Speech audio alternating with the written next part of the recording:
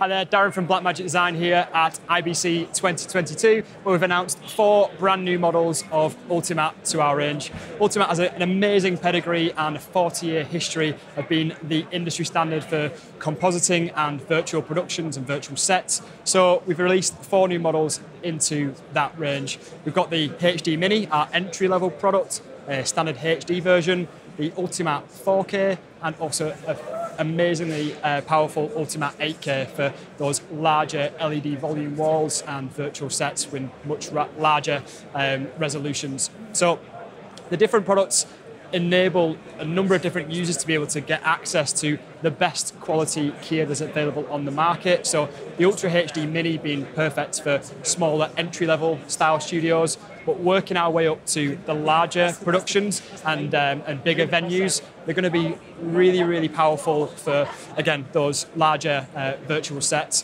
where you want to build them into larger graphics engines and be able to and harness the power of Ultimatte's amazing garbage mattes, hold-out mattes, and the layer mode to enable for augmented reality settings. So we have four Ultimattes in the range. So we do have the HD Mini at $500, ranging through to the Ultimatte 8K around $8,000. And we're really excited to see how you all harness the power of the best uh, compositing system on the market for your different production needs.